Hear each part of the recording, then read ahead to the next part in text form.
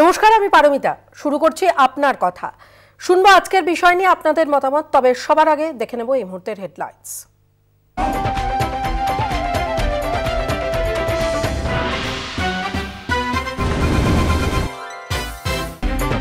কর্ণাটকে বিজেপির অন্দরে তীব্র ক্ষোভ। তলে তলে কংগ্রেসের সঙ্গে যোগ চার বিজেপি বিধায়কের সিদ্ধারামাইয়ার সঙ্গে হোটেলে সাক্ষাৎ শিকার বিজেপি বিধায়ক বাসন গৌড়া পাটিলের। বিদ্রোহ নিয়ে সরব জয়প্রকাশ রিতেশ। কোনো দলবিরোধী কাজ করেননি। দাবি জয়প্রকাশের। রাজ্য বিজেপিকে দুর্বল করার চেষ্টা দলেরই একাংশে দিল্লিকে জানিয়েছে বললেন জয়প্রকাশ। পদ্মশ্রী ফিরিয়ে দিলেন গীতশ্রী সন্ধ্যা মুখোপাধ্যায়। বাংলা সংগীত জগতে ঘটনার পুনরাবৃত্তি। উনিশশো সাতাশিতে একইভাবে পদ্মশ্রী ফিরিয়েছিলেন হেমন্ত। রাজ্য বিধানসভায় আম্বেদকর স্মরণে গিয়ে রাজ্যকে বেনজির আক্রমণ। বাংলায় আইনের শাসন নেই শাসকের আইন মন্তব্য ধানখারীর সরকারি অফিসারদের হুঁশিয়ারি। সংবিধান ভাঙছেন রাজ্যপালই। উনি নিজে নিয়ম মেনে কাজ করুন, এখতিয়ার বহির্ভূত কাজ করছেন রাজ্যপাল কড়া ভাষায় পাল্টা তৃণমূলের। রাজ্যপালের মন্তব্য সৌজন্যমূলক নয়, এটা না করলেই উনি ভালো করতেন। রাজ্যপাল কার মুখপাত্র হয়ে কথা বলছেন বোঝা গেল না, মন্তব্য অধ্যক্ষ বিমান বন্দ্যোপাধ্যায়ের। আগামী সাতই মার্চ বালিগঞ্জ ও আসানসোল বিধানসভার উপনির্বাচন। কমিশন সূত্রে খবর, উত্তরপ্রদেশে শেষ দফার নির্বাচনের দিনেই হবে উপনির্বাচন। বিধানসভায় মধুসূদন দত্ত অশ্বিনী দত্তের জন্মদিনের পূর্ব নির্ধারিত অনুষ্ঠান। বিধানসভায় গেলেও মালা দেয়নি রাজ্যপাল মনীষীদের প্রতি অশ্রদ্ধা রাজ্যপালের অভিযোগ বিরোধীদের।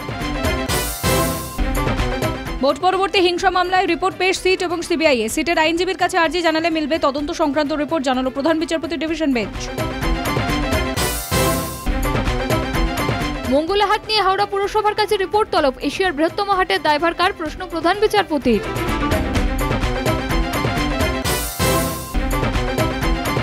হোটেলে বিয়েবাড়ি চলাকালীন বিস্ফোরণ নিরাপত্তারক্ষীর মৃত্যু, তদন্তে বাগুইয়াটি থানার পুলিশ।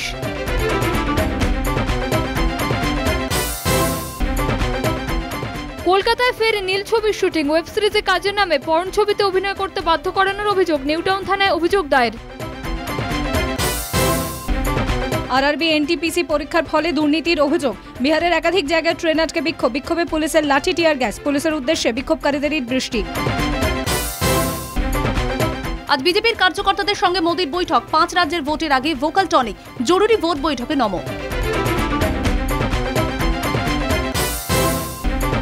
আইএস আইন সংশোধনী, এবার কেন্দ্রের সিদ্ধান্তের বিরোধিতায় তেলেঙ্গানার মুখ্যমন্ত্রী কে চন্দ্রশেখর রাও? প্রধানমন্ত্রীকে চিঠি।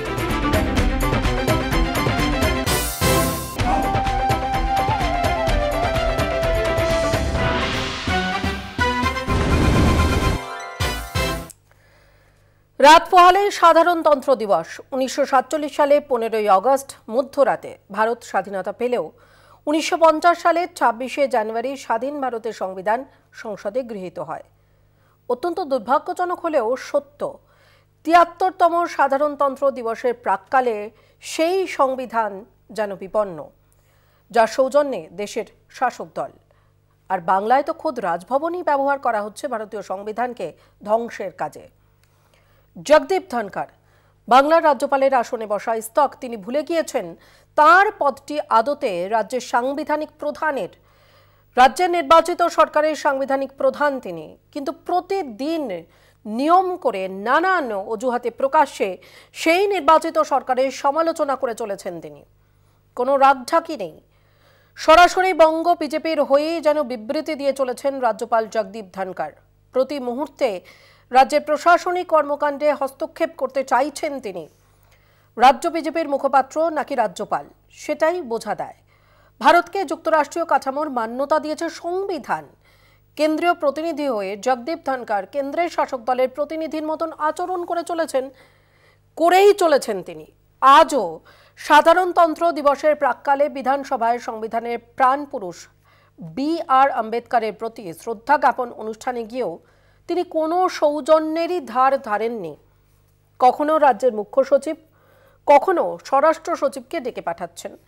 আর মুখ্যমন্ত্রী মমতা বন্দ্যোপাধ্যায় তো প্রথম দিন থেকেই রাজ্যপালের নিশানায় রয়েছেন। সব রকমের রাজনৈতিক শিষ্টাচার শিকে তুলে দিয়েছেন জগদীপ ধনকার। আসলে রাজ্যে বিজেপিকে মদত দিতে দিল্লির নেতারা ধনকারকে বেছে নিয়েছিলেন। কিন্তু রাজ্যের মানুষ বিজেপিকে প্রত্যাখ্যান করেছে। দু হাজার একুশ সালে বিধানসভা ভোটে মুখ থুবড়ে পড়েছে বাংলার গেরুয়া বাহিনী। কিন্তু তাতেও দমে যাননি জগদীপ ধনকার তিনি আরও উগ্র মূর্তি ধারণ করেছেন। বাংলার বিজেপি নেতাদের সঙ্গে রাজ্যপালের বক্তব্য একেবারে মিলে মিশে একাকার হয়ে যাচ্ছে। এক কথায়, সাংবিধানিক প্রধান হয়েও বিজেপির রাজনৈতিক এজেন্ডা পূরণ করাটাই এখন তার মূল লক্ষ্য হয়ে দাঁড়িয়েছে। অর্থাৎ সরাসরি রাজনীতির ময়দানে মুখ্যমন্ত্রী মমতা বন্দ্যোপাধ্যায়কে মোকাবিলায় ব্যর্থ হয়ে বস্তুত পেছনের দরজা দিয়ে বাংলার প্রশাসনে হস্তক্ষেপ এখন একমাত্র লক্ষ্য নরেন্দ্র মোদী, অমিত শাহদের। আর সেই লক্ষ্য যেভাবেই হোক পূরণ করতেই হবে। তাতে ভারতীয় সংবিধান কথিত যুক্তরাষ্ট্রের আদর্শ জলাঞ্জলি দিলেও তা চলবে। এতটাই মরিয়া বর্তমান বিজেপি। শুধুমাত্র রাজভবন নয় এবার দেশের আমলাতন্ত্রকেও তাদের রাজনৈতিক স্বার্থ সিদ্ধিতে কাজে লাগাতে উদ্গ্রীব হয়ে পড়েছেন প্রধানমন্ত্রী। আমরা আসছি সেই আলোচনায়। আমরা আজকে আপনার কথায় এই বিষয় নিয়েই আলোচনা করব, শুনব আপনাদের কথা, শুনব আপনাদের মতামত। তবে এখন সময় একটা ছোট্ট বিরতির। রাজনৈতিক লড়াইতে তৃণমূলের কাছে গোহারা হেরেছে বিজেপি, এমনকি প্রধানমন্ত্রী মোদী বা স্বরাষ্ট্রমন্ত্রী অমিত শাহ দিনের পর দিন বাংলায় প্রচার করেও হালে পানি পায়নি তাদের দল। তারপরে নানান ফন্দিফিকির করে বাংলার নির্বাচিত সরকারের এখতিয়ারে নাক গলানো শুরু। বিধানসভা ভোটে হারার পরপরই বিএসএফ এর এলাকা বাড়ানোর সিদ্ধান্ত নেয় কেন্দ্র, যা কার্যত বাংলায় কেন্দ্রীয় বাহিনীর আগ্রাসনেরই নামান্তর। রাজ্যের এলাকায় কেন্দ্রের হস্তক্ষেপ।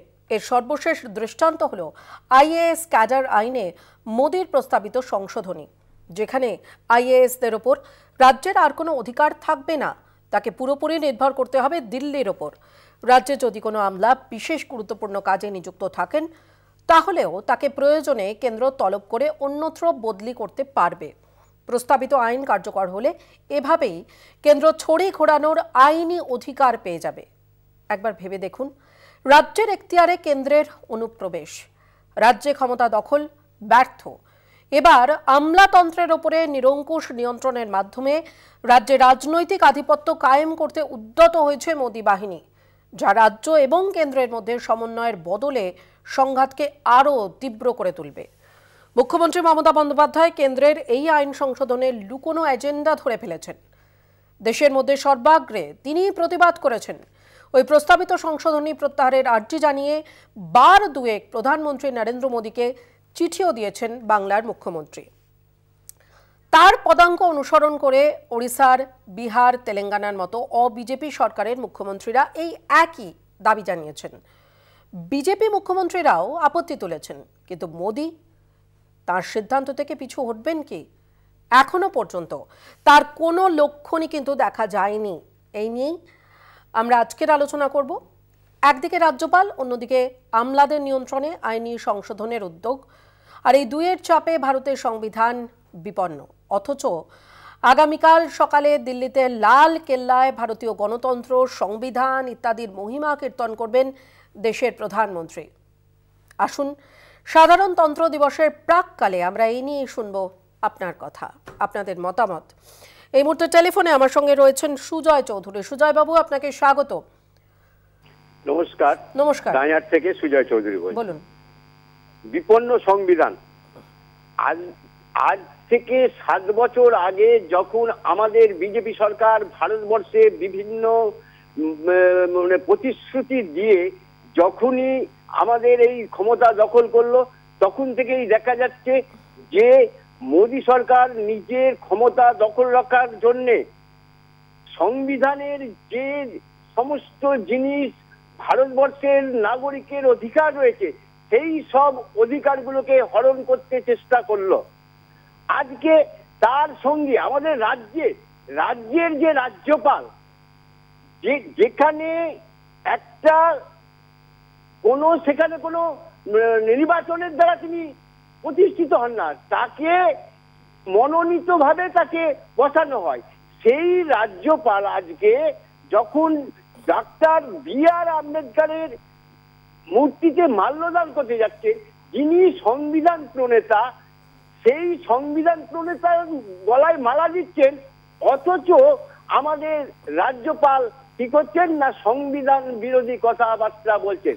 আজকে বিধানসভায় যিনি বিধানসভাকে দেখবেন, যেটা সংবিধানে আছে, সেই সংবিধানটাকে না ঠিক মতো না ব্যবহার করে তিনি আজকে মুখ্যমন্ত্রীর নামে সমালোচনা করছেন। এরা কি সংবিধান নিয়ে কিছুই পড়েনি?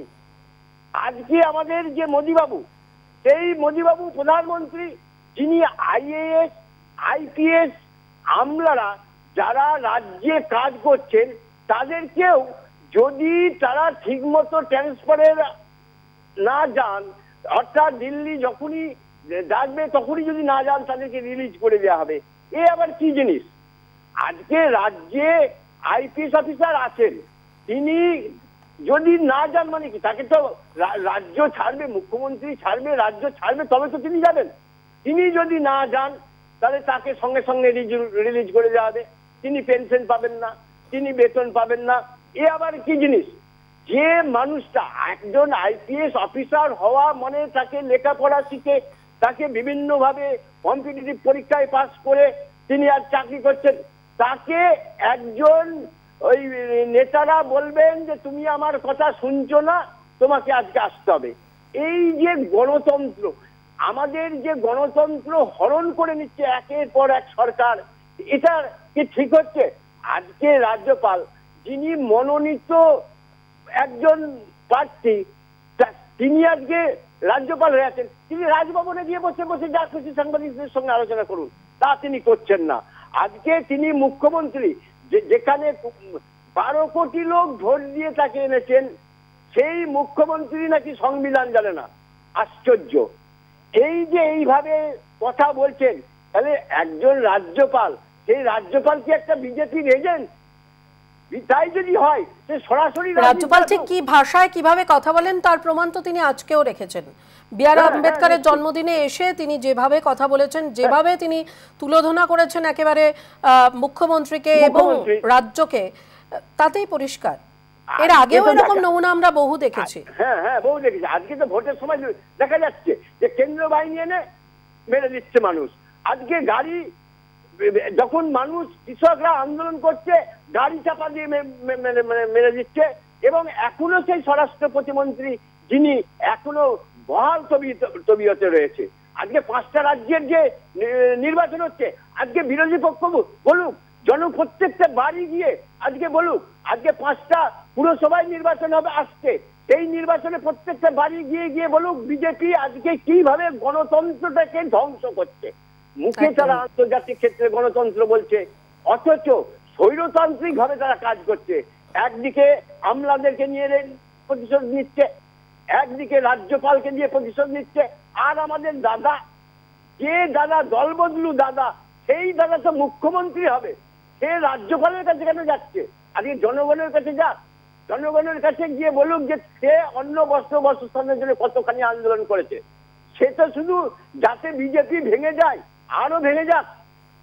মানুষ বুঝুক যে বিজেপি কি কাজ করছে। আজকে যে আন্দোলন আন্দোলন করুক, আন্দোলন না করে তারা এখন করছে কি বুঝতে পেরেছি সুজয় বাবু অনেক ধন্যবাদ আপনাকে টেলিফোন করার জন্য। সঙ্গে থাকুন আপনি। আমাদের পরের কলার স্বপন দাস। স্বপন বাবু বলুন নমস্কার। আমাদের যে রাজ্যপাল আমাদের যে আম্বেদকরকে উনি জানেন না তো। রাজ্যপাল জানেই না যে আম্বেদকরটাকে উনি সংবিধানে কিছুই জানে না। ওনার মান সম্মান কাকে বলে উনি সেটুকুও জানে না। কাতে কিতে মান সম্মান বাড়বে কিতে কমবে সেটাও ওনার জানা নেই। উনি জানে আমি মমতা ব্যানার্জির থেকে ওপরে, আমি একজন রাজ্যপাল যা করবে পশ্চিমবাংলা মুখ্যমন্ত্রী বা প্রশাসন আমাকে জানিয়ে করতে হবে। এইটুকুই উনি জানে। উনি হলো একজন মানে পার্টির নেতা বিজেপির আর আমাদের যে প্রধানমন্ত্রী বায়ুক্রমে আমার মনে হয় উনি উচ্চ মাধ্যমিকের উপরে পড়াশোনা করেননি। আর আমাদের যে- অমিত শাহ, এরাও মানে লেখাপড়া বেশি জানে না। এরাও রাজ মানে ক্ষমতা পেয়ে গেছে হাতে, আর কোনো কিছু মানে না। এটুকুই বলব, আর কিছু বলব না, বললাম না। অনেক ধন্যবাদ স্বপন বাবু টেলিফোন করার জন্য। আমরা আজকে যে বিষয় নিয়ে কথা বলছি, আলোচনা করছি আপনার কথায়, অর্থাৎ একদিকে রাজ্যপাল এবং অন্যদিকে কেন্দ্রের এই যে আগ্রাসী মনোভাব, আমলাতন্ত্রকে নিয়ন্ত্রণ করার জন্য কেন্দ্রের এই যে আগ্রাসী মনোভাব, তা কি কোনোভাবে আমাদের সংবিধানকে, কোনোভাবেই কি সংবিধানকে সেটা প্রভাবিত করছে না? এবং এই যে আমরা প্রজাতন্ত্র দিবসের প্রাককালে দাঁড়িয়ে রয়েছি, সেই প্রজাতন্ত্র দিবসের প্রাককালে দাঁড়িয়ে কেন্দ্রের এই যে মনোভাব, তাতে কি আমাদের সংবিধান বিপন্ন হচ্ছে না? আজকে আমরা এই বিষয়ে কথা বলছি, আলোচনা করছি। তবে এই বিষয়ের মধ্যেই আপনাদের জানিয়ে রাখি, একটি অত্যন্ত গুরুত্বপূর্ণ খবর, যে খবর আমাদের হাতে এসে পৌঁছেছে, পদ্মভূষণ সম্মানে সম্মানিত হতে চলেছেন প্রাক্তন মুখ্যমন্ত্রী বুদ্ধদেব ভট্টাচার্য। প্রাক্তন মুখ্যমন্ত্রী বুদ্ধদেব ভট্টাচার্য, তিনি পদ্মভূষণ সম্মানে সম্মানিত হতে চলেছেন। এই মুহূর্তের অত্যন্ত গুরুত্বপূর্ণ খবর, প্রাক্তন মুখ্যমন্ত্রী বুদ্ধদেব ভট্টাচার্য তাকে পদ্মভূষণ সম্মানে সম্মানিত করা হচ্ছে।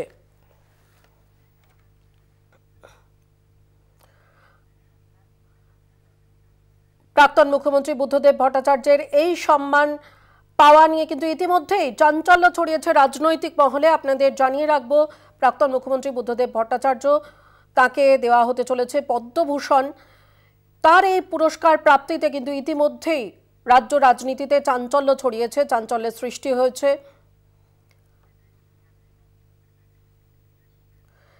কেন্দ্রীয় সরকার আমরা প্রত্যেকেই জানি যে যারা নীতিগতভাবে একেবারেই বামপন্থীদের বিরুদ্ধে, সেই কেন্দ্রীয় সরকারই কিন্তু এই পদ্মভূষণ সম্মান প্রদান করে থাকেন। সেই পদ্মভূষণ সম্মান পাচ্ছেন প্রাক্তন মুখ্যমন্ত্রী বুদ্ধদেব ভট্টাচার্য, যার ফলে কিন্তু খুব স্বাভাবিকভাবেই চাঞ্চল্য ছড়িয়েছে রাজনৈতিক মহলে। আমাদের বিশিষ্ট সংবাদদাতা আশিস চট্টোপাধ্যায় মুহূর্তে টেলিফোনে আমাদের সঙ্গে রয়েছেন।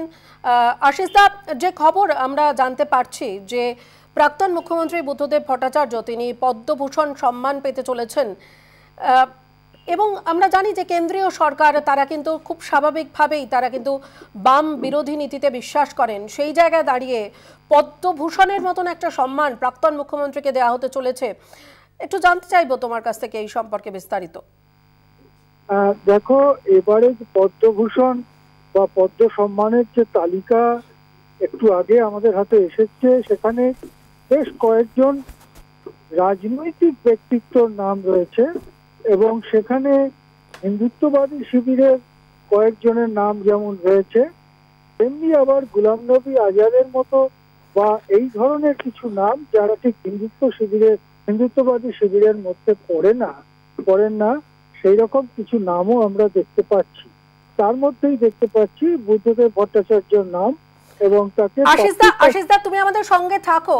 আমরা আবারও একটা ছোট্ট বিরতির পর এই খবরেই থাকব এই খবরে নজর রাখব। আমাদের সময় হয়ে গেছে একটা ছোট্ট বিরতিতে যাওয়ার। বিরতির পর আবারও আমরা এই খবর নিয়ে ফিরছি। আপনার কথা অনুষ্ঠানে সঙ্গে থাকবেন।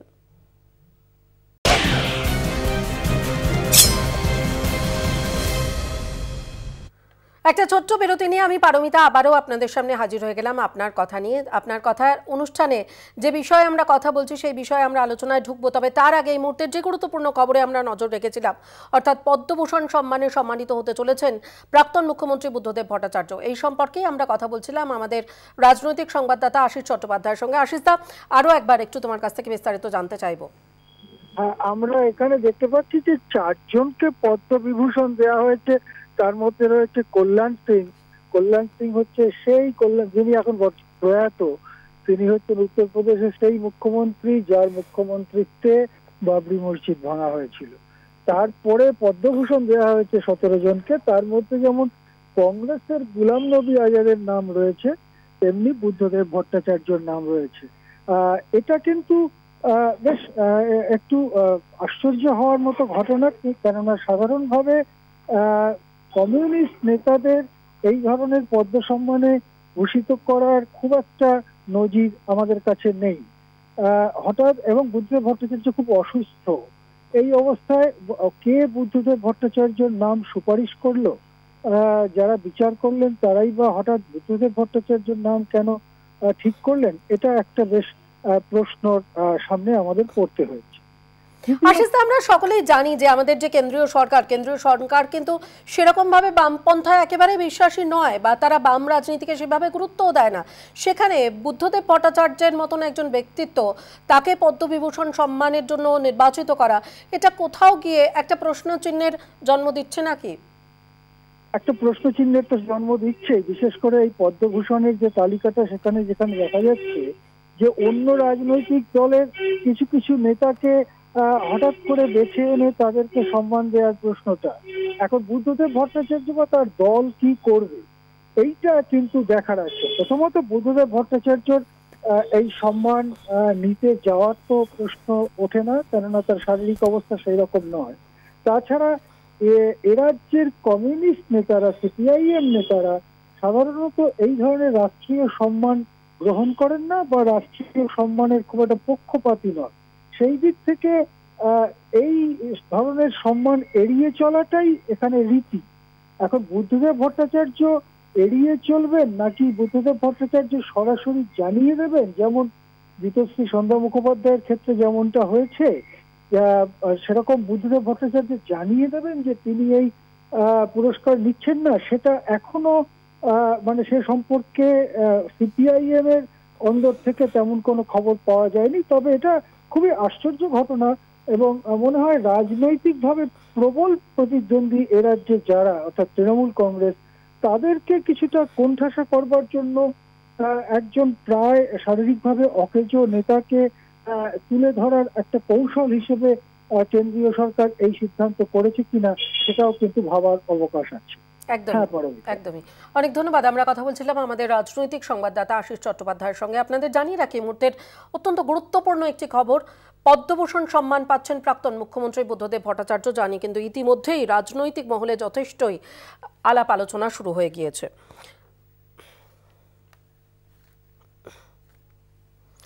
আমরা এই মুহূর্তে আবারও আমরা যে বিষয়ে কথা বলছি, আলোচনা করছি, আজকের আপনার কথার বিষয়, সেই বিষয়ে ফিরব। টেলিফোন লাইনে আমাদের সঙ্গে দর্শক রয়েছেন ললিত বন্দ্যোপাধ্যায়। ললিত বাবু, স্বাগত আপনাকে, বলুন। নমস্কার, শুভ সন্ধ্যা। আমাদের এই ইউনিয়ন গভর্নমেন্ট যে আট বছর হলো, আমাদের যে সংবিধানের যে মূল মন্ত্র, যে স্বাধীনতা, সাম্য ও সম্প্রীতি এই তিনটাকেই পুরোপুরি নষ্ট করে দিয়েছে। স্বাধীনতা আমাদের নেই, আমাদের গণতন্ত্রের কোনো প্রশ্ন করার অধিকার নেই। অধিকার থাকলেই আমরা রাষ্ট্রদ্রোহী বিচ্ছিন্নতাবাদী বলে আমাদের ইউএপিএ আইনে তারা আটকে দেওয়া এবং এই আইনে কোনো বেল পাওয়া যায় না এবং আমাদের প্রচুর উদাহরণ আছে যাদের সাংবাদিক, আমাদের সমাজকর্মী, বহু সাধারণ লোককে বিভিন্ন পেশায় নিযুক্ত তাদের ধরা হয়েছে। এই সবচেয়ে যেটা ক্ষতিকারক দৃশ্যে, গণতান্ত্রিক পদ্ধতিতে এসে পুরোপুরি অগণতান্ত্রিক যে স্বৈরতান্ত্রিক, উগ্র হিন্দুত্ববাদী সংবিধান বিরোধী শক্তি এই সরকারকে চালাচ্ছে সেটা আরএসএস এদের কোনো দলীয়, এদের কোনো আন্দোলনের ইতিহাস নেই। এটা স্বাধীনতা আন্দোলনের অপ্রাসঙ্গিক এবং আজও অপ্রাসঙ্গিক। একটা বেড়ালাবাগে শীত ছেড়ে গেছিল দু হাজার চোদ্দোয় কংগ্রেসের দুর্নীতিগ্রস্ত কংগ্রেস, তাকে আন্না মোদীর আন্না হাজারের আন্দোলন একে ত্বরান্বিত করেছে এবং এসে উনি পরপর দুটো টার্মে এসে মনে করছেন, আমি বিরাগ করলাম। গণতন্ত্রের স্বাস্থ্য রক্ষা করে মানুষের প্রশ্নশীলতার মুখে এবং যে প্রশ্ন করছে, সেটাকে পুরোপুরি পথ বন্ধ করে দিয়েছে। গণতন্ত্রের যে চারটি স্তম্ভ, তার স্থিতিশীল নষ্ট করতে আগ্রাসনের ভূমিকা নিয়েছে। একটাই কারণ, আমরা আসি ওরা করি সারা ভারতবর্ষে এরা বয়ে বেড়াচ্ছে।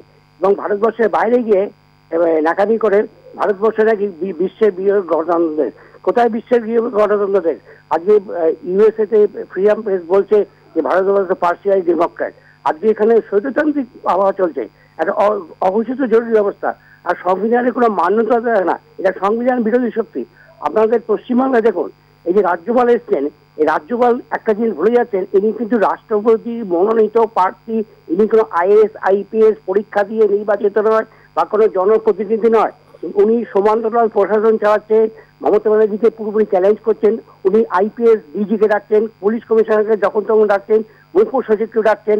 আলাপন ব্যানার্জিকে দিনের পর দিন হেনস্থা করেছে, রাজ্যপালকে কোনো অধিকার নেই। আমি লিগালি বলছি লিগালি কম্পিটেন্ট নয়, কিন্তু উনি করেছেন কি রং পার্সেন্ট রাইট প্লেস হয়ে গেছে। একটা যে পুরোপুরি বিজেপির লোক তাকে রাজ্যপালে এসে বসে দিয়েছে। উনি তো এটা পুরোপুরি বিজেপির সদর দপ্তর অফিসটা করে ফেলেছেন। উনি বিরোধী পক্ষের নেতা কোথায় যাচ্ছে, কে কাকে পুলিশ আটকালো, উনি প্রশ্ন করছেন, মুখোশ হয়ে দেখে জিজ্ঞেস করছে, কেন এটা হয়েছে? উনি প্রশ্ন করার অধিকার আছে? উনি তো সংবিধানকে মান্যতা দিচ্ছেন না।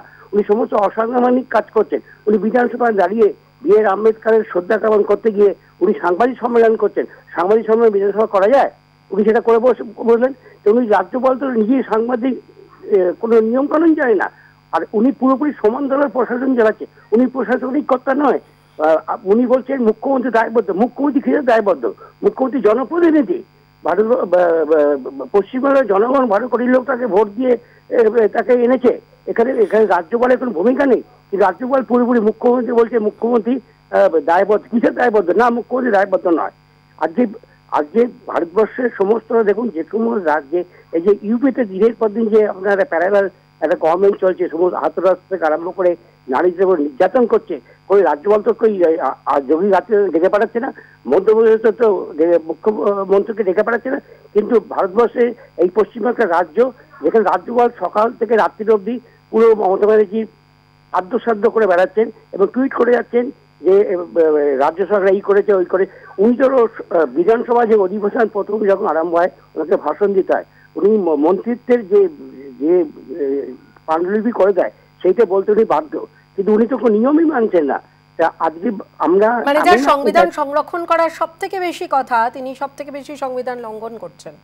লঙ্ঘন করছেন, নিশ্চয়ই, ঠিক বলেছেন। আজকে আমাদের ভারতবর্ষে যদি আমরা এই সরকারকে না সরকার পাই আমরা তো একটা অন্ধকার যুগে চলে যাচ্ছি। আজকে ভারতবর্ষ গণতন্ত্র বিপন্ন ধর্ম নিরপেক্ষতা বিপন্ন, শুধু একটা স্বৈরাচারী, অগণতান্ত্রিক সংবিধান শক্তি, আমরা আসি কুড়ি, এই আর, আপনার যারা সংখ্যালঘু তারা ভীত, সন্ত্রস্ত, তাদের কোণঠাসা করে দেওয়া হচ্ছে। এবং সমস্ত মানুষের আইডেন্টিটি একটাই, তার ধর্মের পরিচয়। না ধর্মের পরিচয় না নানা ভাষা, নানা মত, নানা পরিধান বহুদের মাঝে আছে মিলন মহান। অনেক ধন্যবাদ ললিত বাবু বুঝতে পেরেছি আপনার বক্তব্য আমরা শুনলাম। এই মুহূর্তে টেলিফোন লাইনে আমাদের সঙ্গে রয়েছেন মঞ্জু সেন। বলুন মঞ্জু দেবী নমস্কার স্বাগত আপনাকে অনুষ্ঠানে। হ্যালো। হ্যালো। হ্যাঁ বলুন। হ্যাঁ সংবিধান যে বিপন্ন হ্যালো। সংবিধান আপনি টেলিভিশন সেটে ভলিউমটা একদম শূন্য করে টেলিফোনে কথা বলুন আমাদের সঙ্গে।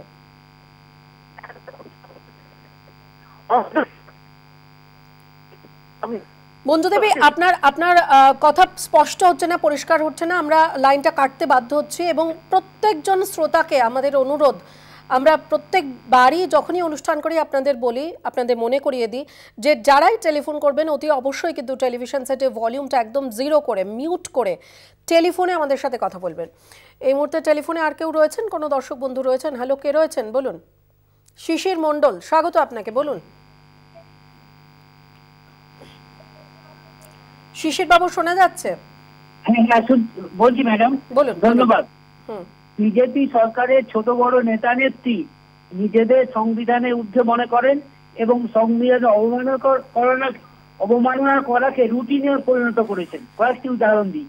সিএএ অবস্থান করার সময় সাইনিবাগে জনতার উদ্দেশ্যে কটূক্তি করতে শোনাতে, শোনা গিয়েছিল মন্ত্রী অনুরাগ ঠাকুরকে এবং আরেকজন এম, এমপিকে বলতে শোনা গিয়েছিল, মেরে তুলে দেওয়া হবে যেটা অত্যন্ত সংবিধান বিরোধী। মোদী সাহ ওয়েস্ট বেঙ্গলে ইলেকশনের সময় প্রতি মুহূর্তে সংবিধান বিরোধিতা করেছেন এবং তাদের আচরণেও সংবিধান বিরোধিতা হয়েছে। কদিন আগে যোগী আশি টোয়েন্টি বিভাজনের কথা বলে সংবিধান অবমাননা করেন। হরিদ্বারে সাধুদের দিয়ে মুসলিমদের হত্যা করার বিধান দেন, কিন্তু তাদের বিরুদ্ধে কোনো ব্যবস্থা নেওয়া হয় না। এবার আমাদের রাজ্যপাল, যিনি নিজেকেই সংবিধান মনে করেন, তার সম্বন্ধে কয়েকটি কথা। রাজ্যপাল পদটি অত্যন্ত গরিমামণ্ডিত এবং সংবিধানে বলা আছে, যতক্ষণ বিধানসভা জীবিত এবং মন্ত্রিসভা আছে, ততক্ষণ রাজ্যপাল এই মন্ত্রিসভার নির্দেশ মেনেই উপদেশ দেবেন এবং তাদের মতে, তাদের কথা মতো কাজ করবেন। কিন্তু ধনকর সাহেব মোদীর হিটমাস্টার ভয়েসের মতো কাজ করেন, সংবিধান না মেনে সমস্ত স্বাধীনতা এবং নিয়ম বিসর্জন দিয়ে সরকারের সমালোচনা নিন্দাবন্ধ করেন। ধনকর একজন অত্যন্ত নিচু মানের বিজেপি লিডারের মতো মমতাকে গালমন্দ করেন। মমতা সুযোগ্য শিষ্য হিসেবে সব সময় মিথ্যা অভিযোগ করে থাকেন ওয়েস্ট বেঙ্গলের বিরুদ্ধে। তিনি অতীতে প্রচুর দুর্নীতি করেছেন, অথচ মমতাকে প্রধান মুখ্যমন্ত্রীর আচরণ পাঠ করান। ওয়ান আই ডিআর এর মতো তিনি বিজেপি শাসিত রাজ্য যথা গুজরাট, ইউপি ত্রিপুরায় কোনো দুর্নীতি দেখেন না। যত দুর্নীতি ওয়েস্ট বেঙ্গলে দেখেন এই জাতীয় মূর্খ এবং অপদার্থ দাম্ভিক গভর্নর না থাকাই শ্রেয়। ধন্যবাদ। আপনাকে অনেক ধন্যবাদ শিশিরবাবু। টেলিফোন করার জন্য আমাদের পরের কলার নিমাই বিশ্বাস। নিমাই বাবু নমস্কার। হ্যাঁ পারমিতা শুভ সন্ধ্যা। আমি নিমাই বিশ্বাস দমদম থেকে বলছিলাম। বলুন। সংবিধান আজ বিপন্ন। একথা একবারে ঠিক। একথা অস্বীকার করার কোনো জায়গা নেই। তা আমি বলছিলাম যে এই সংবিধানটা হ্যাঁ আমাদের ছাব্বিশে জানুয়ারি প্রজাতন্ত্র দিবসের দিন আমরা উদযাপন করি। কেন করি এই ছাব্বিশে জানুয়ারিটা? প্রজাতন্ত্র হিসাবে ঠিক হলো, এই পিছনে বিরাট ইতিহাস আছে। অত তো বলা যাবে না, আমি সংক্ষেপে বলে আমি আসছি, কেননা যারা আমাদের টিভি শুনছে, অনেক অপ্রাপ্ত বয়স্ক বয়স্ক, সমস্ত শ্রেণির মানুষ আছে, তাদের সঠিক বিষয়টা জানা দরকার। উনিশশো উনিশ সালে ব্রিটিশ পার্লামেন্ট মন্টেগো বলে একটি আইন এক আলা আইন প্রয়োজন প্রণয়ন করেন। এবং তখন সবাই মানে ভারতবর্ষের আবাল বৃদ্ধ বনিতা ইভেন কংগ্রেস, সবাই এর প্রোটেস্ট করেছিল। প্রোটেস্ট করবার ফলে দশ বছর পরে ব্রিটিশ পার্লামেন্ট ভেবে দেখল যে না, এটা একটু সংশোধন করা দরকার। তারা একটা সাইমন কমিশন গঠন করল। এবং দেখা গেল সেই ভারতবর্ষের জন্য কমিটি করা হয়েছে, অথচ ভারতবর্ষের কোনো প্রতিনিধি নেই। এটা ভালোভাবে নিল না। এর বিরুদ্ধে প্রচুর আন্দোলন হলো। সব তো বলতে পারছি না, সংক্ষেপে বলছি। তা যাই হোক সাইমন কমিশন উনিশশো সাতাশ সালে রাওয়ালপিন্ডিতে ওরা আসলো। আসার পরে যখন আমাদের মানে এ লালা রাজপথ মানে উনি কি করলেন গো ব্যাক সাইমন বলে মানে ধিৎকার জানালেন। এবং তখন পুলিশের লাঠি খেয়ে পরবর্তীকালে উনি ওই সময় মারা যান। আচ্ছা এই হচ্ছে পুরো ই তারপরে যখন একটা এই যে সংবিধানটা আজকে তৈরি হয়েছে এটা আগেও একটা হয়েছিল সে হচ্ছে নেহেরু। হ্যাঁ একবার ব্রিটিশ সরকার বলেছিল যে মানে তোমরা নিজেরা ভারতবাসীরা এখনও তোমরা উপযুক্ত হওনি হ্যাঁ, মানে সংবিধান লেখার মতো। তখন মতিলাল নেহেরু বলল সাটাপ হ্যাঁ আমরা তোমাদের চ্যালেঞ্জ অ্যাকসেপ্ট করছি। এই কথা বলে তারপরে তারা একটা সংবিধান তৈরি করে পরবর্তী বছরে দেয়, কিন্তু সেটা ওরা ডাস্টবিনে ফেলে দেয়। তখন মুসলিম লীগও তাদের চরিত্র অনুযায়ী বলে, এটা এক্ষুনি ডাস্টবিনে ফেলে দরকার। যাই হোক, এইভাবে ঠিক হলো। তারপরে যে দুটো গ্রুপ ছিল, দুটো গ্রুপের মধ্যে একটা গ্রুপে ছিল নেতাজি সুভাষ বোস জওহরলাল নেহরু এরা হচ্ছে, আর একটা হচ্ছে নরমপন্থী মানে আপনার সর্দার বন্দ্যোপাধ্যায় প্যাটেল, রাজেন্দ্র প্রসাদ এরা। এদের মধ্যে যখন দ্বিমত হলো, তখন গান্ধী এসে মধ্যস্থতা করে ঠিক করল যে, না, আমরা এর বিরুদ্ধে পূর্ণ স্বাধীনতা আমরা ডিমান্ড করব এবং গণ আন্দোলন গড়ে তুলব। হ্যাঁ তখন যে নরমপন্থীরা তারাও সমর্থন করেছিল বলে হ্যাঁ এইটাই ঠিক। হ্যাঁ এইটাই ঠিক। উনিশশো ইসে যখন নিমাই বাবু আপনি সংবিধান সংক্রান্ত ইতিহাস যা বলছেন ঠিক আছে এবারে এই সুন্দর। লাইন আসছে। কিন্তু আজকে যে বিষয়ে আমরা কথা বলছি যে টপিকে কথা বলছি সেই টপিকে একটু আসতে হচ্ছে তার কারণ হচ্ছে আমরা প্রতিবাদ করছি তোমরা আমাদের সুযোগ করে দিয়েছ ঠিক আছে। কিন্তু এটাকে যদি কেউ ইচ্ছাকৃত ভাবে ইচ্ছাকৃত ভাবে যদি কেউ বন্ধ করে তাহলে কে দেখবে? সুপ্রিম কোর্ট দেখবে ল। হ্যাঁ আটকে কেউ আটকাতে পারে না। আগেও বহুবার। কিছু মানে সামান্য হলো ইন্দিরা গান্ধীর সময় এটা লাগু হয়েছিল। কিন্তু তখন কে এগিয়ে এসছিল? এসছিল আইন। এ রক্ষককে, সংবিধানকে রক্ষা করার দায়িত্ব হচ্ছে একমাত্র সুপ্রিম কোর্ট আইনের। একদমই একদমই। বুঝতে পারা গেছে। অনেক ধন্যবাদ নিমাই বাবু টেলিফোন করার জন্য। আমাদের সময় হয়ে গেছে একটা ছোট্ট বিরতিতে যাওয়ার। বিরতির পর আবারও আমরা ফিরবো আপনার কথা নিয়ে। আলোচনা করব এই বিষয়ে এবং শুনব আপনাদের মতামত। একটা ছোট্ট বিরতি ফিরছি তারপর।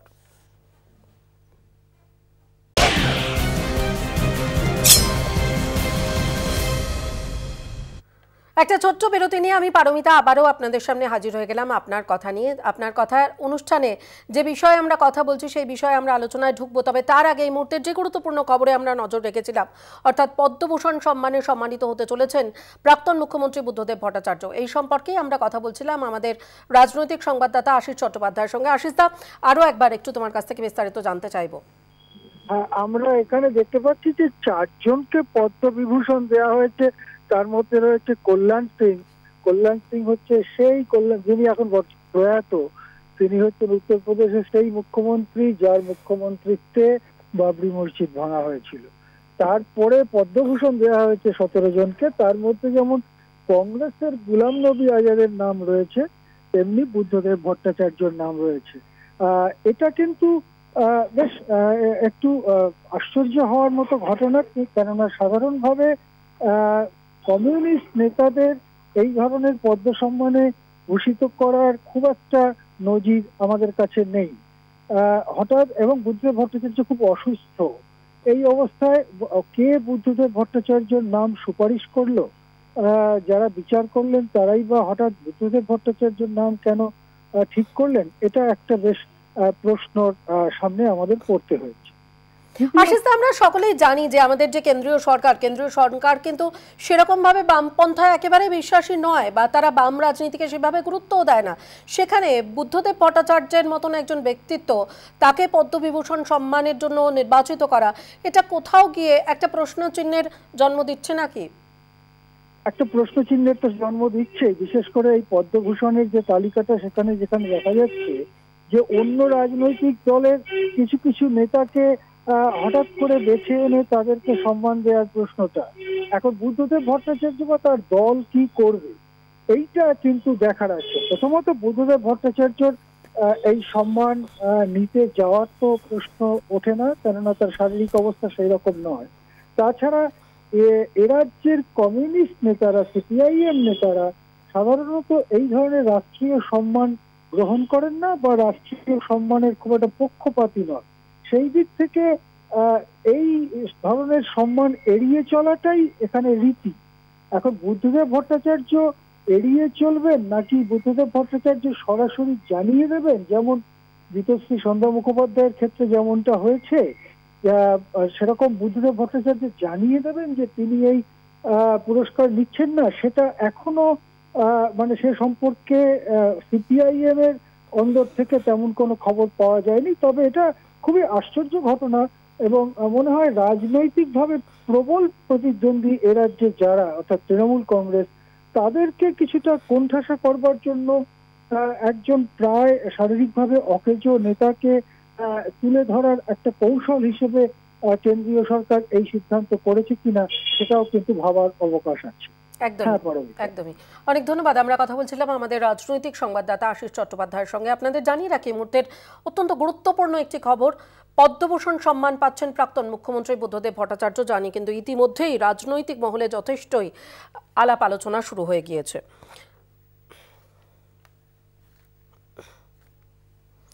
আমরা এই মুহূর্তে আবারও আমরা যে বিষয়ে কথা বলছি, আলোচনা করছি, আজকের আপনার কথার বিষয়, সেই বিষয়ে ফিরব। টেলিফোন লাইনে আমাদের সঙ্গে দর্শক রয়েছেন ললিত বন্দ্যোপাধ্যায়। ললিত বাবু, স্বাগত আপনাকে, বলুন। নমস্কার, শুভ সন্ধ্যা। আমাদের এই ইউনিয়ন গভর্নমেন্ট যে এসছে আট বছর হলো আমাদের যে সংবিধানের যে মূল মন্ত্র, যে স্বাধীনতা, সাম্য ও সম্প্রীতি, এই তিনটাকেই পুরোপুরি নষ্ট করে দিয়েছে। স্বাধীনতা আমাদের নেই, আমাদের গণতন্ত্রের কোনো প্রশ্ন করার অধিকার নেই। অধিকার থাকলেই আমরা রাষ্ট্রদ্রোহী বিচ্ছিন্নতাবাদী বলে আমাদের ইউএপিএ আইনে তারা আটকে দেওয়া এবং এই আইনে কোনো বেল পাওয়া যায় না এবং আমাদের প্রচুর উদাহরণ আছে যাদের সাংবাদিক, আমাদের সমাজকর্মী, বহু সাধারণ লোককে বিভিন্ন পেশায় নিযুক্ত তাদের ধরা হয়েছে। এই, সবচেয়ে যেটা ক্ষতিকারক দিক গণতান্ত্রিক পদ্ধতিতে এসে পুরোপুরি অগণতান্ত্রিক স্বৈরতান্ত্রিক উগ্র হিন্দুত্ববাদী সংবিধান বিরোধী শক্তি এই সরকারকে চালাচ্ছে সেদের আরএসএস এদের কোনো দলীয়, এদের গণ আন্দোলনের ইতিহাস নেই। এটা স্বাধীনতা আন্দোলনের অপ্রাসঙ্গিক এবং আজও অপ্রাসঙ্গিক একটা বেড়ালাবাগে শিখ ছেড়ে গেছিল। দু হাজার চোদ্দোয় কংগ্রেসের দুর্নীতিগ্রস্ত কংগ্রেস তাকে আন্না মোদীর আন্না হাজারের আন্দোলন একে ত্বরান্বিত করেছে এবং এসে উনি পরপর দুটো টার্মে এসে মনে করছেন, আমি দিগ্বিজয় করলাম। গণতন্ত্রের স্বাস্থ্য রক্ষা করে মানুষের প্রশ্নশীলতার মুখে এবং যে প্রশ্ন করছে, সেটাকে পুরোপুরি পথ বন্ধ করে দিয়েছে। গণতন্ত্রের যে চারটি স্তম্ভ, তার স্থিতিশীলতা নষ্ট করতে আগ্রাসনের ভূমিকা নিয়েছে। একটাই কারণ, আমরা আসি ওরা করি সারা ভারতবর্ষে এরা বয়ে বেড়াচ্ছে। এবং ভারতবর্ষের বাইরে গিয়ে নাকামি করে ভারতবর্ষ নাকি বিশ্বের বৃহৎ গণতন্ত্র দেশ কোথায় বিশ্বের বৃহৎ গণতন্ত্র দেশ আজকে ইউএসএ তে ফ্রিডম প্রেস বলছে যে, ভারতবর্ষ পার্সিয়াল ডেমোক্র্যাট। আজকে এখানে স্বৈরতান্ত্রিক আবহাওয়া চলছে। একটা অঘোষিত জরুরি অবস্থা আর সংবিধানের কোনো মান্যতা দেয় না। এটা সংবিধান বিরোধী শক্তি। আপনাদের পশ্চিমবাংলায় দেখুন, এই যে রাজ্যপাল এসছেন, এই রাজ্যপাল একটা জিনিস ভুলে যাচ্ছেন, ইনি কিন্তু রাষ্ট্রপতি, মনোনীত প্রার্থী, ইনি কোনো আইএস আইপিএস পরীক্ষা দিয়ে নির্বাচিত নয় বা কোনো জনপ্রতিনিধি নয়। উনি সমান্তরাল প্রশাসন চালাচ্ছে মমতা ব্যানার্জিকে পুরোপুরি চ্যালেঞ্জ করছেন, উনি আইপিএস, ডিজিকে ডাকছেন, পুলিশ কমিশনারকে যখন তখন ডাকছেন, মুখ্য সচিবকে ডাকছেন। আলাপন দিনের পথে হেনস্থা করেছে রাজ্যপালকে কোনো অধিকার নেই। আমি লিগালি বলছি লিগালি কম্পিটেন্ট নয়, কিন্তু উনি করেছেন কি রং পার্সেন রাইট প্রেস হয়ে গেছে। একটা যে পুরোপুরি বিজেপির লোক তাকে রাজ্যপাল হিসেবে বসে দিয়েছে। উনি তো এটা পুরোপুরি বিজেপির সদর দপ্তর অফিসটা করে ফেলেছেন। উনি বিরোধী পক্ষের নেতা কোথায় যাচ্ছে, কে কাকে পুলিশ আটকালো, উনি প্রশ্ন করছেন, মুখোশ করে ডেকে জিজ্ঞেস করছে, কেন এটা হয়েছে? উনি প্রশ্ন করার অধিকার আছে। উনি তো সংবিধানকে মান্যতা দিচ্ছেন না। উনি সমস্ত অসাংবিধানিক কাজ করছেন। উনি বিধানসভায় দাঁড়িয়ে বি আর আম্বেদকরের শ্রদ্ধা জ্ঞাপন করতে গিয়ে উনি সাংবাদিক সম্মেলন করছেন। সাংবাদিক সম্মেলন বিধানসভা করা যায়? উনি সেটা করে বললেন। তো উনি রাজ্যপাল তো নিজেই সাংবাদিক কোনো নিয়ম কানুন জানে না। আর উনি পুরোপুরি সমান দলের প্রশাসন চালাচ্ছে। উনি প্রশাসনিক কর্তা নয়। উনি বলছেন মুখ্যমন্ত্রী দায়বদ্ধ। মুখ্যমন্ত্রী কিসের দায়বদ্ধ? মুখ্যমন্ত্রী জনপ্রতিনিধি। ভারত পশ্চিমবঙ্গের জনগণ, ভারত কোটি লোক তাকে ভোট দিয়ে তাকে এনেছে। এখানে এখানে রাজ্যপালের কোনো ভূমিকা নেই। রাজ্যপাল পুরোপুরি মুখ্যমন্ত্রী বলছে, মুখ্যমন্ত্রী দায়বদ্ধ, কিসের দায়বদ্ধ? না, মুখ্যমন্ত্রী দায়বদ্ধ নয়। আজকে আজকে ভারতবর্ষের সমস্ত দেখুন, যে সমস্ত রাজ্যে, এই যে ইউপিতে দিনের পর দিন যে আপনার প্যারালাল একটা গভর্নমেন্ট চলছে, সমস্ত হাতরাস থেকে আরম্ভ করে নারীদের উপর নির্যাতন করছে ওই রাজ্যপাল তো কই যোগী রাত্রে ডেকে পাঠাচ্ছে না, মধ্যপ্রদেশ তো মুখ্যমন্ত্রীকে ডেকে পাঠাচ্ছে না, কিন্তু ভারতবর্ষে এই পশ্চিমবঙ্গের রাজ্য, যেখানে রাজ্যপাল সকাল থেকে রাত্রি অবধি পুরো মমতা ব্যানার্জি আদ্যসাধ্য করে বেড়াচ্ছেন এবং টুইট করে যাচ্ছেন যে রাজ্য সরকার এই করেছে ওই করে। উনি তো বিধানসভা যে অধিবেশন প্রথম যখন আরম্ভ হয় ওনাকে ভাষণ দিতে হয়। উনি মন্ত্রিত্বের যে যে পাণ্ডুলিপি করে দেয় সেইটা বলতে উনি বাধ্য। কিন্তু উনি তো কোনো নিয়মই মানছেন না। আজকে আমরা মানে যার সংবিধান সংরক্ষণ করার সব থেকে বেশি কথা তিনি সব থেকে বেশি সংবিধান লঙ্ঘন করছেন। লঙ্ঘন করছেন, নিশ্চয়ই, ঠিক বলেছেন।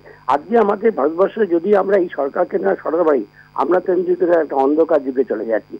আজকে ভারতবর্ষ গণতন্ত্র বিপন্ন, ধর্ম নিরপেক্ষতা বিপন্ন, শুধু একটা স্বৈরাচারী, অগণতান্ত্রিক সংবিধানের শক্তি, আমরা আসি কুড়ি এই আপনার যারা সংখ্যালঘু তারা ভীত, সন্ত্রস্ত, তাদের কোণঠাসা করে দেওয়া হচ্ছে। এবং সমস্ত মানুষের আইডেন্টিটি একটাই, তার ধর্মের পরিচয়। না ধর্মের পরিচয় না, নানা ভাষা, নানা মত, নানা পরিধান বহুদের মাঝে আছে মিলন মহান। অনেক ধন্যবাদ ললিত বাবু বুঝতে পেরেছি আপনার বক্তব্য আমরা শুনলাম। এই মুহূর্তে টেলিফোন লাইনে আমাদের সঙ্গে রয়েছেন মঞ্জু সেন। বলুন মঞ্জু দেবী নমস্কার স্বাগত আপনাকে অনুষ্ঠানে। হ্যালো? হ্যালো। হ্যাঁ বলুন। হ্যাঁ সংবিধান যে বিপন্ন হ্যালো? সংবিধান আপনি টেলিভিশন সেটে ভলিউমটা একদম শূন্য করে টেলিফোনে কথা বলুন আমাদের সঙ্গে।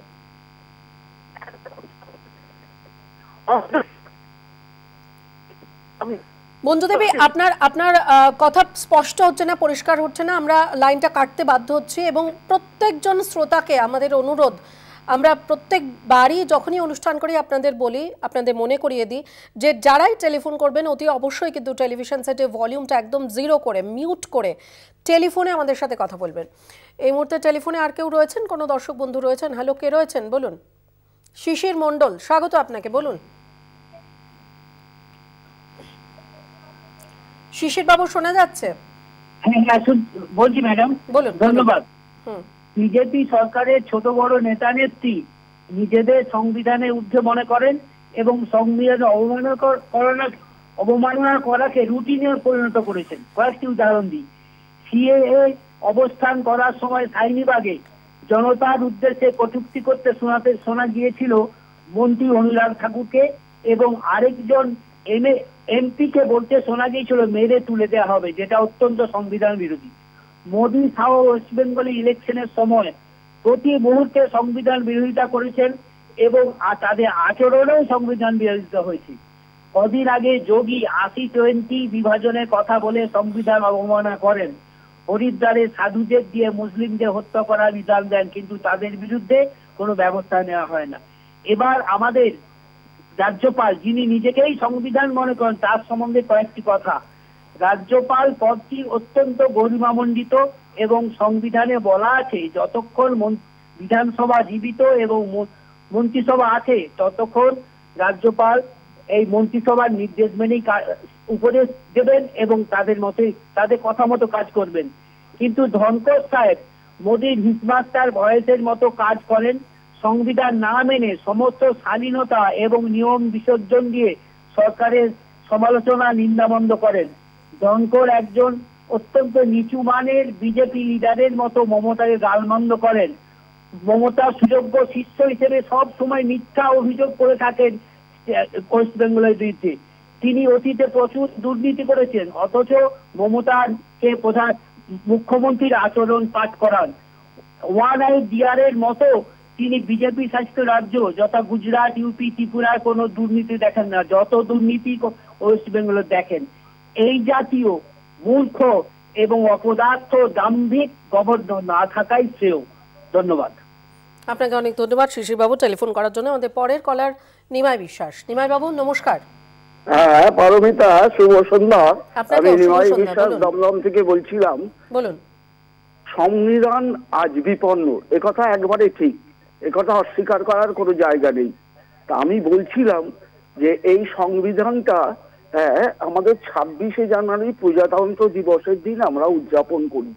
কেন করি এই ছাব্বিশে জানুয়ারিটা প্রজাতন্ত্র হিসাবে? ঠিক হলো, এই পিছনে বিরাট ইতিহাস আছে। অত তো বলা যাবে না, আমি সংক্ষেপে বলে আমি আসছি কেন যারা আমাদের টিভি শুনছে, অনেক অপ্রাপ্ত বয়স্ক বয়স্ক, সমস্ত শ্রেণির মানুষ আছে, তাদের সঠিক বিষয়টা জানা দরকার। উনিশশো উনিশ সালে ব্রিটিশ পার্লামেন্ট মন্টেগো বলে একটি আইন এক আলা আইন প্রয়োজন প্রণয়ন করেন।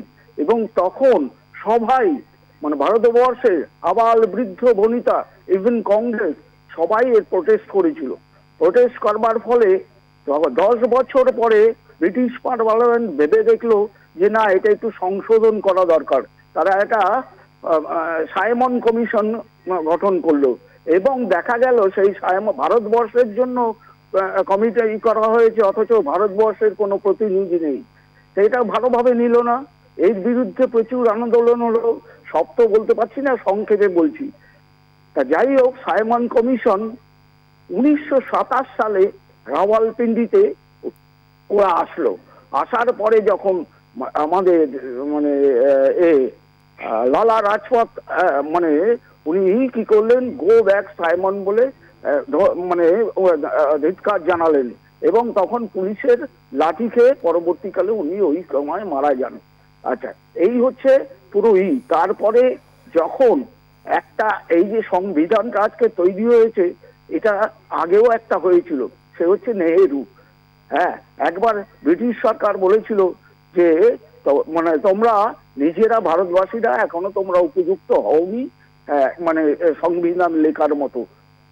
তখন মতিলাল নেহেরু বলল সাটা হ্যাঁ আমরা তোমাদের চ্যালেঞ্জ অ্যাকসেপ্ট করছি। এই কথা বলে তারপরে তারা একটা সংবিধান তৈরি করে পরবর্তী বছরে দেয়, কিন্তু সেটা ওরা ডাস্টবিনে ফেলে দেয়। তখন মুসলিম লীগও তাদের চরিত্র অনুযায়ী বলে, এটা এক্ষুনি ডাস্টবিনে ফেলে দরকার। যাই হোক, এইভাবে ঠিক হলো। তারপরে যে দুটো গ্রুপ ছিল, দুটো গ্রুপের মধ্যে একটা গ্রুপে ছিল নেতাজি সুভাষ বোস জওহরলাল নেহরু এরা হচ্ছে, আর আরেকটা হচ্ছে নরমপন্থী মানে আপনার সর্দার বন্দ্যোপাধ্যায় প্যাটেল, রাজেন্দ্র প্রসাদ এরা। এদের মধ্যে যখন দ্বিমত হলো, তখন গান্ধী এসে মধ্যস্থতা করে ঠিক করল যে, না, আমরা এর বিরুদ্ধে পূর্ণ স্বাধীনতা আমরা ডিমান্ড করব এবং গণ আন্দোলন গড়ে তুলব। হ্যাঁ তখন যে নরমপন্থীরা তারাও সমর্থন করেছিল বলে হ্যাঁ এইটাই ঠিক। হ্যাঁ এইটাই ঠিক। উনিশশো ও- ও- ও- ইসে যখন নিমাই বাবু আপনি সংবিধান সংক্রান্ত ইতিহাস যা বলছেন ঠিক আছে, এবারে এই সুন্দর। লাইনে কিন্তু আজকে যে বিষয়ে আমরা কথা বলছি যে টপিকে কথা বলছি সেই টপিকে একটু আসতে হবে। হচ্ছে তার কারণ হচ্ছে আমরা প্রতিবাদ করছি তোমরা আমাদের সুযোগ করে দিয়েছ ঠিক আছে। কিন্তু এটাকে যদি কেউ ইচ্ছাকৃত ভাবে ইচ্ছাকৃত ভাবে যদি কেউ বন্ধ করে তাহলে কে দেখবে? সুপ্রিম কোর্ট দেখবে ল। হ্যাঁ আটকে তো আটকাতে পারে না। আগেও বহুবার কিছু মানে সামান্য হলো ইন্দিরা গান্ধীর সময় এটা লাঘব হয়েছিল। কিন্তু তখন কে এগিয়ে এসছিল? এসছিল আইন। এর রক্ষককে, সংবিধানকে রক্ষা করার দায়িত্ব হচ্ছে একমাত্র সুপ্রিম কোর্ট আইনের। একদমই একদমই। বুঝতে পারা গেছে। অনেক ধন্যবাদ নিমাই বাবু টেলিফোন করার জন্য। আমাদের সময় হয়ে গেছে একটা ছোট্ট বিরতিতে যাওয়ার। বিরতির পর আবারও আমরা ফিরবো আপনার কথা নিয়ে। আলোচনা করব এই বিষয়ে এবং শুনব আপনাদের মতামত। একটা ছোট্ট বিরতি ফিরছি তারপর। ছোট্ট একটা বিরতির পর আবারও ফিরে এলাম। এই মুহূর্তে টেলিফোন লাইনে আমার সঙ্গে রয়েছেন ব্রজনন্দন অধিকারী। বলুন ব্রজবাবু নমস্কার। ম্যাডাম শুভ সন্ধ্যা। আপনাকেও শুভ সন্ধ্যা। বলুন। এই দাঁড়ান, মিউট করে দিয়ে যাই। হ্যাঁ হ্যালো শুনছি আমরা বলুন। হ্যাঁ। দেশ এখন এক গভীর সংকটের মধ্যে। সংবিধান তো বিপন্ন অবশ্যই হ্যাঁ? কারণ সংবিধানকে কোনো ক্ষেত্রেই মান্যতা দেওয়া হচ্ছে না। হ্যাঁ এইসবের জন্য একটা রীতিমতো পড়াশোনা দরকার। আমার মনে হয় এখন দেশটা যাদের দায়িত্বে রয়েছে যাদের হাতে রয়েছে ওনাদের পড়াশোনার ঘাটতি আছে। তাছাড়া এইরকম ভাবে চলতে পারে না। কারণ হ্যাঁ মানে সংবিধানে রাজ্যপালের ক্ষমতা, রাষ্ট্রপতির ক্ষমতা, প্রধানমন্ত্রীর ক্ষমতা সব নির্দিষ্ট করা আছে। তো আর আমাদের আলাদা করে বুঝিয়ে বলার মতো কিছু না। এত হয়তো আমরা জানিও না সম্পূর্ণ। যেটুকু লেখাপড়া করেছি, তাতে করে এই বিজেপির আমলে যে সমস্ত জিনিসগুলো আমরা দেখছি, যেগুলো সত্যি আমাদেরকে ভাবিয়ে তুলছে আগামী দিনের পক্ষে এগুলো হচ্ছে অশুনি সংকেত হ্যাঁ? আর আপনার ওই রাজ্যপালের যে অবস্থা, ওনার যে অবস্থা দেখছি, উনি তো সেই নুগ্জ কুব্জ অবস্থা। উনি সোজা হয়ে মানে কথা বলতে পারেন না। তা ওনার মনে হয় ডাক্তারি পরীক্ষা দরকার আছে। পরীক্ষা করে ওনাকে অব্যাহতি দেওয়া খুবই দরকার। কারণ উনি হয়তো বয়সের ভারে এই ভীমরতি বলে না? বয়সের ভীমরতি ওনার মনে হয় ভীমরতি ধরেছে দিয়ে আবিল তাবিল মাঝে মাঝে বসেন হ্যাঁ? তো যাই হোক, ওনার মানে উনি কন্ট্যাক্ট করে এসেছিলেন যে এনি হাও আমি এই পশ্চিমবঙ্গ মানে এই সরকারকে যে কোনো ভাবে বরখাস্ত করব, উনি সেটা পারেন না, ওনার হয়তো এখনও সেই জেদ আছে। হ্যাঁ? যে যে কোনো ভাবে এই সরকারকে হ্যাকেল করতে হবে। আর একটা জিনিস, অনেক দেখবেন আছে বিজেপি সমর্থক, তারা সেই আশায় চাষা মুখ বাঁধে, সেই মুখ বাঁধার মতো অবস্থা নিয়ে এখনও অনেকে বলেন, এটা করবেন ম্যাডাম এটা আপনাদের মাধ্যমে অনুরোধ রইল। তাই এগুলো অনুরোধ করতে হবে আমাদের এই সংবাদ মাধ্যমের কাছে। যারা দেশ চালাচ্ছে তারা জানে না। আর সংবাদ মাধ্যমে আপনাদের এই যে বলিষ্ঠ কথাবার্তা, পদক্ষেপ, আর একজনকে আমি খুব রেসপেক্ট করি, ওনাকে এখন দেখতে পাই না অত আমাদের প্রসূনভুক্ত ছিলেন সিটিভিএনে উনি ঠিক এইভাবে সমানে বলে গেছেন। হ্যাঁ যাই হোক এখন আমাদের কাছে যেটা সব থেকে মানে জিনিস গোটা ভারতবাসীর কাছে এটা আমাদের একটা মানে অনুরোধ যে এই রকম সরকারকে দেশ থেকে মানে তাড়াতে না পারলে আমাদের কোনো ক্ষেত্রে আমরা শান্তি পাবো না।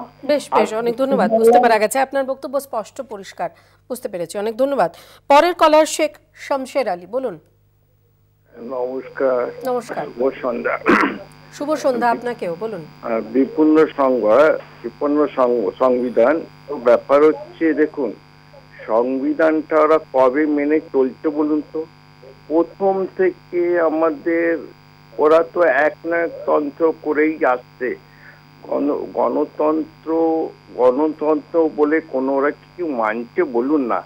ব্যাপার হচ্ছে, যেসব কাজ হচ্ছে, আমাদের এখানে ভারতবর্ষ হচ্ছে একটা লক্ষ্মী গণতন্ত্র দেশ।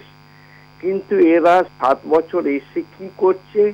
না পুরো একে পাল্টাবার চেষ্টা করছে। কিন্তু ওরা তো পারবে না। অশিক্ষিত দল, সংবিধান, কি জিনিস ওরা এর মর্ম বুঝবে না, ম্যাডাম, বুঝলেন তো? আর আমাদের রাজ্যপাল তো বিজেপি একটা এজেন্ট করে এখানে আমাদের পশ্চিমবঙ্গে এনেছে। কারণ আমাদের এই একুশ সালে মমতা আসার আগে থেকে অনেক চেষ্টা করেছিল যে যেমন করে হোক মমতাকে সরাবে, কিন্তু আমরাও নাছরবান্দা আমরা মমতাকে সরাতে চাই না, কারণ ওর মতো নেত্রী আমাদের পশ্চিমবঙ্গে দরকার। তো যাই হোক, একুশের আগে ওরও পার হলো। একুশের পর থেকে আবার যে যে এই মা মাটির মানুষ অত শক্তি নিয়ে এসছে, সাহসটা দেখুন, একটার পর একটা সপেতে নাক গলাচ্ছে। তো ব্যাপার হচ্ছে ওরা পারবে না, সংবিধান কি জিনিস, গণতন্ত্র কি জিনিস, যদি ন্যায্য বলতে যাও, দেশ, দেশের এগেনস্টে বলছে বলে ধরবে, তাই এদের কাছে আমরা আশা করতে পারি না। কিন্তু আমরা, ভারতবাসীরা আমরা সংবিধান জানি বলে আমরা এখনও একতা করে আছি। খুব তাড়াতাড়ি ওদের বিদায় করব আর দু বছর আছে। বুঝলেন তো ম্যাডাম? আমরা তাড়াতাড়ি বিদায় করব দেশটাকে আবার গণতন্ত্রতে আনব। বেশ বুঝতে পেরেছি। ধন্যবাদ আপনাকে। পরের কলার রাধেশ্যাম হালদার। বলুন রাধেশ্যাম বাবু নমস্কার। হ্যালো হ্যালো হ্যাঁ বলুন শুনছি আমরা। বলুন নমস্কার স্বাগত আপনাকে অনুষ্ঠানে। হ্যাঁ। হ্যালো। আমরা শুনতে পাচ্ছি বলুন আপনি আপনার কি বক্তব্য বলুন। Hello madam. আমরা শুনতে পাচ্ছি আপনি বলুন। হ্যাঁ শুভ সন্ধ্যা। বলুন।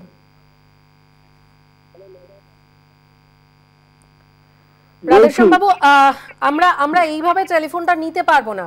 আমরা বারবারই একটা কথা বলছি অনুষ্ঠান পরিচালনা করতে গেলে আপনাকে যখনই টেলিফোন করতে হবে তখনই কিন্তু টেলিভিশন সেটে ভলিউমটা একদম শূন্য করে কথা বলতে হবে। না হলে কিন্তু আপনিও কথা বলতে অসুবিধার মধ্যে পড়বেন।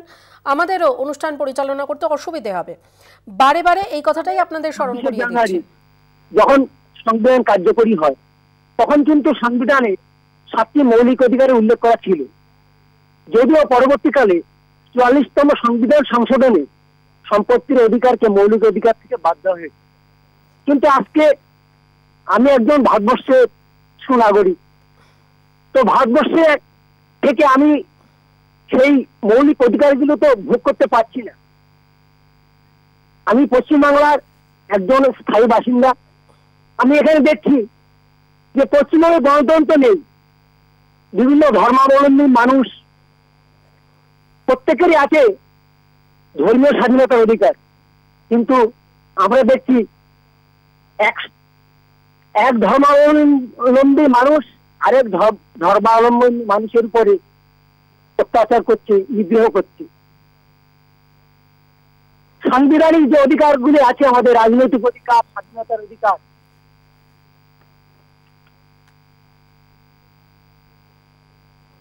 আমাদের সঙ্গে যোগাযোগ বিচ্ছিন্ন হয়ে গেছে। আমাদের আগের কলারের পরবর্তী কলার পরিমল দেবনাথ। বলুন পরিমল বাবু, নমস্কার। নমস্কার। আমরা কালকে একটা ছাব্বিশে জানুয়ারি পরে দেখা গেছে যে আমরা ত্রিপুরা থেকে আমরা যদি একটা জাতি উড়াতাম যাই আমরাকে শাসক দলকে বাধা দৃষ্টি করি এটা কি ভারতে ভারতবর্ষের আইন কি করেছে? কি আমরা একটা জাতীয় ফ্ল্যাগ উঠাতাম, পারতাম না। এটা তো আমি কোনো আইনে, ভারতবর্ষ আইনে এরকম নাই।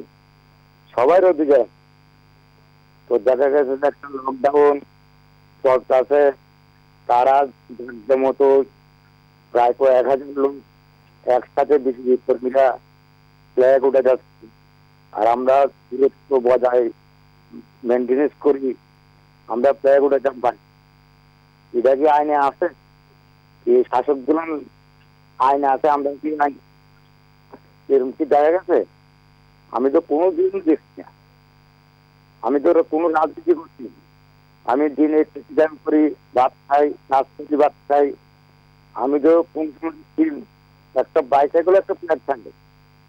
পাঁচ টাকাকে নিলাম একটা নামায় আর দেখা গেছে শাসক দল বা বর্তমান বিজেপি সরকার তারা প্রোটেস্টন ফ্ল্যাগ না মানে? এটা কি আইন নাই? তারা সবাই ধন্যবাদ আপনাকে ধন্যবাদ। পরিমল বাবু ধন্যবাদ। আমাদের সময় হয়ে গেছে একটা ছোট্ট বিরতিতে যাওয়ার বিরতির পর আমরা ফিরবো আবার আপনার কথা অনুষ্ঠান নিয়ে। সঙ্গে থাকবেন। বিরতির পর আবারও ফিরলাম আপনার কথা নিয়ে। আমি পারমিতা রয়েছি আপনাদের সঙ্গে। এই মুহূর্তে আমরা অনুষ্ঠানের একদম শেষ পর্যায়ে এসে উপস্থিত। আমাদের হাতে সময় আর একদম বেশি নেই। আমাদের সঙ্গে দুজন কলার রয়েছেন এই মুহূর্তে। প্রথম কলার সম্রাট নিয়োগী। সম্রাট বাবু নমস্কার। বলুন। হ্যাঁ নমস্কার ম্যাডাম। আমি অনেক শেষে পেলাম বেশি কথা বলব না। তা সম্রাট না সংলাপ নিয়োগী। দুঃখিত। সংলাপ দুঃখিত না দুঃখিত না। আপনারা যা ভালো কাজ করেন দুঃখিত বললে আমরা লজ্জা। আপনাদের মতো কেউ ভালো কাজ করে না। তা যাই হোক ম্যাডাম প্রথমে বেশি কথা বলছি না। আমার একটা বলছি আজকে আপনাদের আমার পছন্দ হয়নি। বিপন্ন বিধান সংবিধান ঠিক আছে? বিপন্ন সংবিধান বিপন্ন দেশ। আজকে যে অশিক্ষিত লোকের হাতে পড়েছে দেশ বিপন্ন। সংবিধান যদি বিপন্ন হয় তাহলে তো দেশ বিপন্ন হবে। একদম একদম আমি এটা বললাম কেন? আপনিও বুঝতে পারছেন আমিও বুঝতে পারছি এবং যারা মোদি চাচা আছে তারাও বুঝতে পারছে। তা যাই হোক আমি একটা কথাই বলি কয়েক কিছু বন্ধুর কাছে শুনলাম কিছুক্ষণ আগে আমাদের টিভির বন্ধু যে ওনার কোনো প্রমাণ আছে কিনা। আমি খালি একটা ধরি দিতে চাই সময় তো নেই নাহলে অনেক ধরাতাম। ভোটের আগে বিজেপির কতজনকে নিয়ে রাজভবনে মিটিং করেছিল, এইটা কি আমার সেই শিক্ষিত বন্ধুরা জানেন? এইটা আমি তাদেরকে বলতে চাই। আজকে কলকাতা টিভিকে কোন রকম বাজে কথা বলে না, তারা আজকে প্রতিবাদ করে। অতএব কলকাতা টিভির প্রোগ্রামগুলো অন্তত দেখুক, দেখে বলুক তারা। এই কথাগুলো ভুলভাল বলবেন না যে রাজ্যপাল প্রমাণ নেই। একটা অশিক্ষিত প্রধানমন্ত্রী শের করেছে রাজ্যপাল, আর একটা অপদার্থ রাজ্যপাল। মানে এত অপদার্থ যে ভাবা যায় অনেকদিন পর সেই সাপের শীতকালে যেমন সাপ ঘুমোতে যায় এর ঠিক সেই রকম অবস্থা হয়েছে। শীতকালে বেরিয়ে পড়েছে। এটাই আমার বক্তব্য। বিপন্ন দেশ সংবিধান তো বিপন্ন হওয়া মানে দেশ তো বিপন্ন হবে ওই জন্যই বললাম। অনেক ধন্যবাদ সংলাপ বাবু আমাদের একদম শেষ কলার শ্যামল হাজরা। শ্যামল বাবু নমস্কার। স্বাগত অনুষ্ঠানে। বলুন। বলুন। সংবিধান বিপন্ন সত্যিই আজকে বিপন্ন। খালি ধনকরকে দিয়ে বললে হবে না। আমাদের মোদি এবং অমিত শাহ, আজকে কনস্টিটিউশন বেঞ্চের জাজমেন্ট হচ্ছে right to privacy is a fundamental right এরা প্রত্যেকে হোয়াটসঅ্যাপে কি করছে, তাতে ট্র্যাক করছে, সুতরাং এরা সুপ্রিম কোর্টের জাজমেন্টও মানে না, সংবিধানও মানে না। তাছাড়া এই প্রধানমন্ত্রী বা আমাদের স্বরাষ্ট্রমন্ত্রী অমিত শাহ কথায় কথায় বলেন, ঘুষপেটিও কো বাহার কর মুসলিম সমাজের প্রতি একটা বিদ্বেষ। এটা আন্ডার সেকশন উনিশ ওয়ান ডি ধারার সম্পূর্ণ বিরোধী কারণ একজন ভারতীয় নাগরিক, তিনি মুসলমান হলে তো পাকিস্তান বা বাংলাদেশের নাগরিক নয়। উনি ভারতবর্ষের যে কোনো জায়গায় ফ্রিলি মুভ করতে পারেন এবং ইনকামের জন্য থাকতে পারেন। এবং এইসব কথা বলার জন্য একশো তিপ্পান্ন ওয়ানের ধারা অনুযায়ী ছ মাসের জেল এবং পাঁচ হাজার টাকা জরিমানা এই দুজনের হতে পারে। এবার এই দুজনই পাঠিয়েছে his master's pet in the Raj Bhavan উনি এসে প্রথম কথাটা কি বললেন? যে আরএসএস হচ্ছে আইডিয়াল একটা অর্গানাইজেশন একটা কনস্টিটিউশনাল হেড উনি বলছেন আইয়া আরএসএস একটা আইডিয়াল অর্গানাইজেশন এটা একটা পুরোপুরি কমিউনাল অর্গানাইজেশন তাছাড়া উনি বাংলা এবং পশ্চিমবঙ্গবাসী বিদ্বেষী। উনি বলছেন, এখানে শিক্ষা ব্যবস্থা ভেঙে পড়েছে। কিন্তু আমরা জানি, ক্যালকাটা ইউনিভার্সিটি আর যাদবপুর ইউনিভার্সিটি এক এবং দু নম্বর র্যাঙ্কে আছেন। উনি এগুলো কেন করছেন? ওনার প্রভু যা শিখিয়ে দিচ্ছেন।